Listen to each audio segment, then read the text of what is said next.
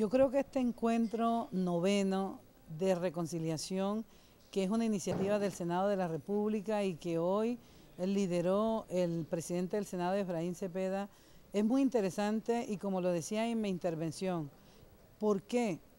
Porque volver a la conversación, volver a escucharnos y sobre todo no escucharnos nosotros mismos en los territorios, sino que nos escuchen las autoridades que de alguna manera tienen la competencia de legislar, de hacer las políticas públicas o de administrarlas. De todas maneras, nosotros creemos que este es un espacio que debe seguirse difundiendo y haciendo, no solo en unas regiones específicas, sino allí, monte adentro, donde la guerra puso su accionar, donde hoy el, proceso de paz tiene que ser implementado, empezar a conversar, empezar a dialogar, empezar a escucharnos entre nosotros mismos, porque como yo dije también, ni la paz ni la reconciliación se decretan, se construyen día a día y desde los territorios y con los territorios. Y es escuchando a la gente del territorio, es escuchando los diferentes contextos de las regiones en que Colombia eh, está identificada. Y llevar esta voz al Congreso de la República, donde los congresistas, donde los representantes a la Cámara y los senadores tienen que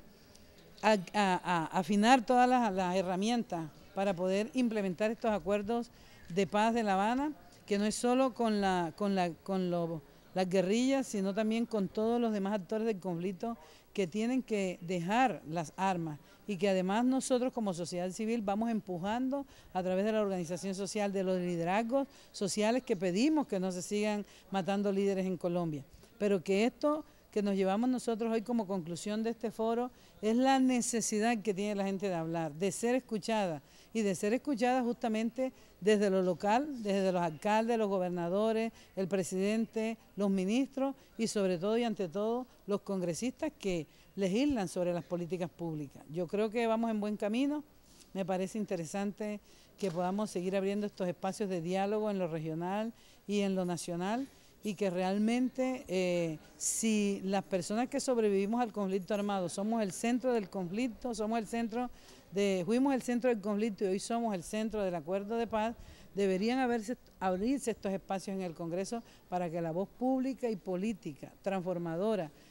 de las personas sobrevivientes en los territorios la llevemos allí y ayudemos a dar esa mano de seguir haciendo el diálogo por la paz y la reconciliación. Yo creo que hay que desarmar los espíritus, también hay que desarmar la palabra, pero también la paz se consigue y se construye con inversión social. Por eso es importante que tengamos toda la responsabilidad de construir la paz y la reconciliación día a día.